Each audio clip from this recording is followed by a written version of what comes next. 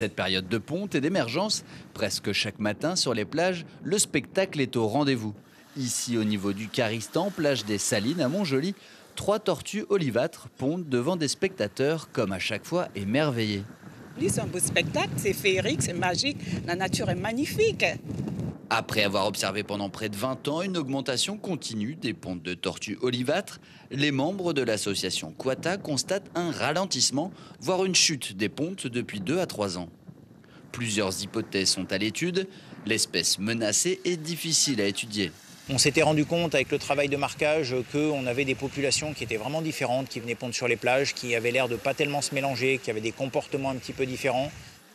On sait qu'il y, a beaucoup d'interactions sur les plages.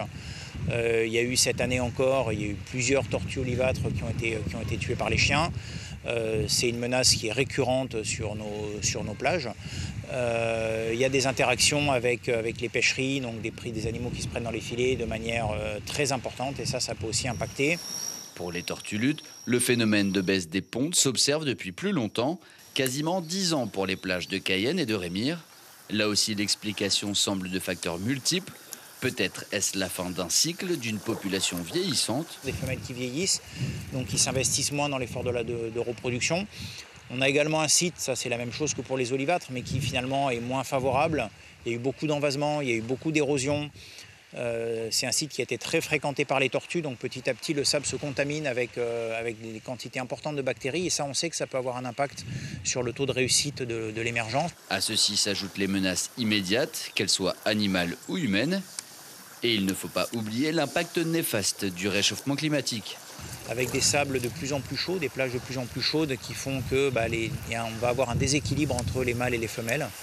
Euh, et dans le cas des tortulutes, qui vont se nourrir à la limite vraiment entre les fronts euh, d'eau chaude et les fronts euh, d'eau froide dans l'Atlantique Nord, ce front petit à petit a tendance avec le réchauffement des océans à remonter, ce qui entraîne des migrations nécessairement de plus en plus longues, de plus en plus compliquées pour les, pour les tortulutes. Cette année, l'association Quata a observé 712 pontes de tortulutes, plus de 1870 pontes de tortues olivates et 32 pontes de tortues vertes.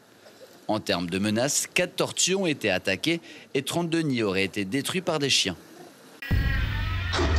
Suivez l'info sur Guyana Première, télé, radio et Internet.